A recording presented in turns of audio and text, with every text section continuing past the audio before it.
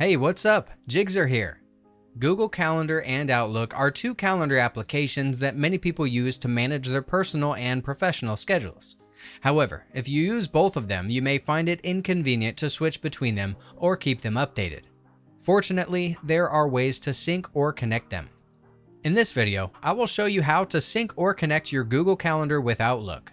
Let's go. By syncing or connecting Google Calendar with Outlook, you can access and edit your Google Calendar events from Outlook. This is especially handy if you want to merge your calendars. You can easily sync your Google Calendar with Outlook on both mobile and PC devices. To do this on your iPhone, download the app on the App Store as Microsoft Outlook. And on your PC's Microsoft Store, it is Outlook for Windows. The next thing you have to do is to sign in by signing in, make sure that you sign up your Google account to your Outlook first. If not, go to this tagged link above or in the description below. If done, go to the app's calendar to check if it's synced. If you only want to merge a specific calendar from your Google account to Outlook, you can try this method.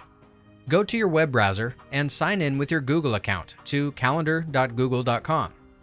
On the left side, find My Calendars. Select the calendar you want to add to Outlook. Click the More options and tap Settings and Sharing. Scroll down to the Integrate Calendar section. And copy the secret address in iCal format URL. This is the private address of your Google Calendar.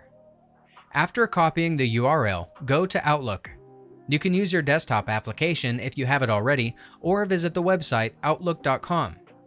They have the same process to connect the calendars anyway. On the screen, find the option Add Calendar. Choose Subscribe from Web and paste the iCal link you copied from Google Calendar.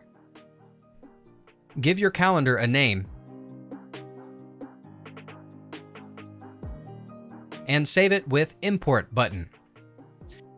Be cautious with your Google Calendar's private iCal link, as anyone with the link can access your calendar information.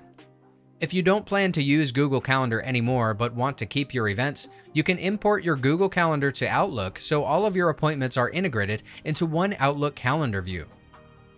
That's it.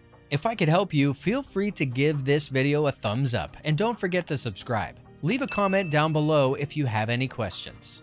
See you next time. Bye.